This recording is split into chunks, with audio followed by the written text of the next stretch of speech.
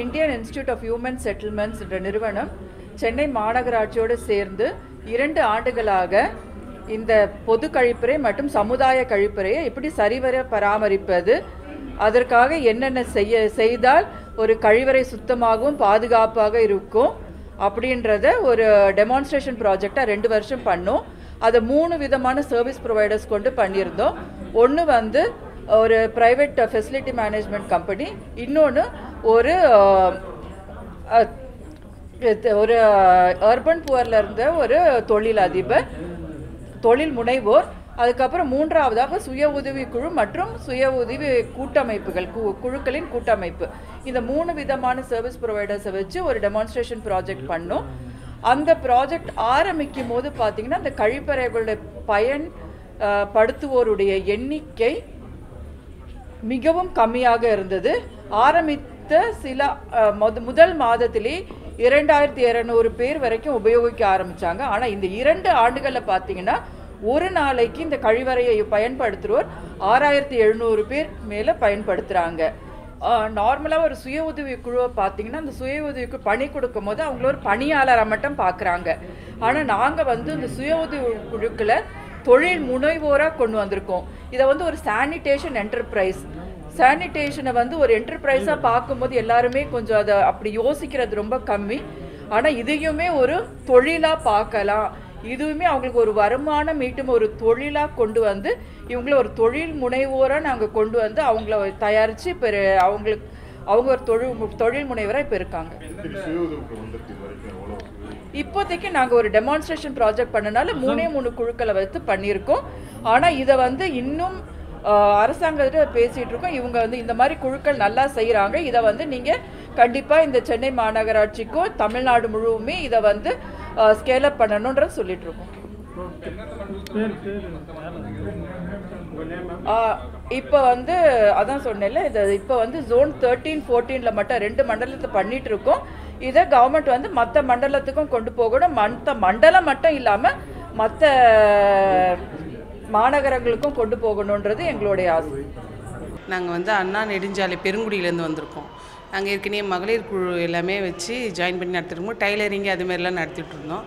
எங்களுக்கு ஐஏஎஸ்டிஎஸ் மூலியமாக இந்த ஆஃபர் வந்தது. இந்த பாத்ரூம் வந்து நீங்கள் லைடாக எடுத்து நடத்தலான்னு நாங்கள் ஃபஸ்ட்டு எடுக்கும் போது என்ன ஆச்சு பாத்ரூமானு நாங்கள் தயங்கி தான் நின்னோம் ஃபஸ்ட்டு அப்புறமேட்டு டோனா மேமே எல்லாருமே வந்து எங்களுக்கு கைடு பண்ணாங்க. இது இப்படி பண்ணலாம்ப்பா நீங்கள் ஒரு சேலஞ்சு தானே நீங்கள் எடுத்து நடத்துங்க அப்படின்னு. அப்புறமேட்டு நாங்கள் கொஞ்சம் கொஞ்சமாக அதில் மூவ் ஆகி இது ரெண்டு வருஷம் ஆயிடுச்சு.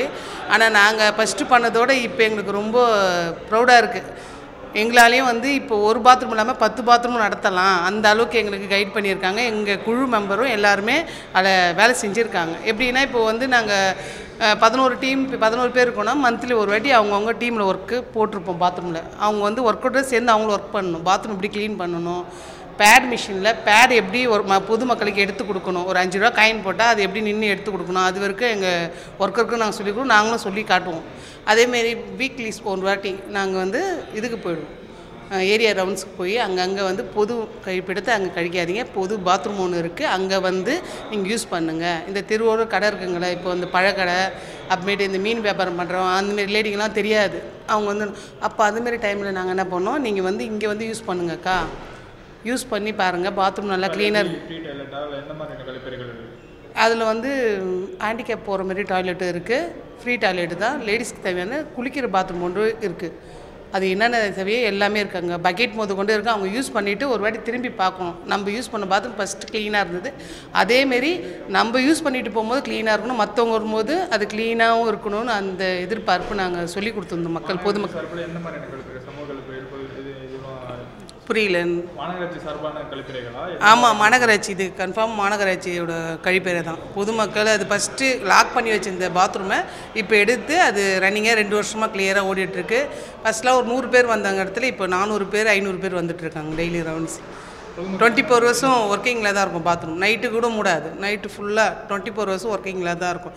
பொதுமக்கள் என்ன சொல்றாங்க? நீங்க பொதுமக்களுக்கு என்ன சொல்ல மாதிரி பொதுமக்களுக்கு நாங்கள் என்ன சொல்கிறோன்னா இப்போ எங்களுக்கு அந்த ஒர்க்கில் போனதுனால நாங்கள் சொல்கிறது என்னென்னா பாத்ரூம் வந்து நம்ம வீட்டு பாத்ரூம் மாரி பொது பாத்ரூம் நம்ம யூஸ் பண்ணோம்னா நம்மளுக்கு மற்றவங்க வந்து செய்யணும்னு அவசியம் கிடையாது. நம்மளே நம்ம பாத்ரூமை கிளியர் பண்ணிக்கலாம். அதனால் எல்லோருமே பொது பாத்ரூமை நம்ம வீட்டு பாத்ரூம் மாரி ஒருத்தவங்க வாட்டி க்ளீனாக இருக்குன்னா அதை திரும்ப வந்து நாஸ்தி பண்ணாமல் க்ளியராக இருக்கான்னு பார்த்து தண்ணி நல்லா அடித்து விற்றுட்டு கிளியர் பண்ணுங்கன்னு சொல்கிறோம் எங்களுக்கு வந்து இந்த ரெண்டு வருஷம் ஆயிடுச்சு. அதனால நாங்கள் எல்லாருமே ஒர்க்கர்லாம் இருக்காங்களே அவங்க எல்லாமே கஷ்டப்பட்டிருக்காங்க. அவங்களுக்கு ஒரு சந்தோஷப்படுறதுக்காகவும் அவங்கள வந்து நாங்கள் வந்து கௌரவிக்கமாக ஒரு விழா வைக்கிறாங்க. அதனால வந்திருக்கோம் எல்லாரும். இது வந்து இன்னும் ஊக்கப்படுத்தணும்னா கவர்மெண்ட்டை தான் இருக்குது கையில். ஏன்னா அவங்க வந்து இன்னும் இது கௌர் இது என்ன சொல்லுவாங்க மகளிர் கிட்ட வந்து இது வரைக்கும் இது மாதிரி கொடுத்தது கிடையாது. ஃபஸ்ட்டெல்லாம் வந்து இந்த கூடை பின்னுறது இந்த டைலரிங்கு இந்த இந்த ஓலை பின்னுறது அதுமாரி தான் இருந்திருக்காங்க. ஆனால் இதுதான் ஃபஸ்ட்டு ஃபஸ்ட்டு பாத்ரூம் எடுத்து நடந்தது. அதுலேயும் சக்ஸஸ் ஆகி காட்டியாச்சு. இன்னமும் நீங்கள் மகளிர் மூலியமாக மகளிர் குழு மூலியமாகவே நீங்கள் பண்ணிங்கன்னா இன்னும் பாத்ரூம் நல்லா கிளியராக இருக்கும் நான் நம்புகிறேன்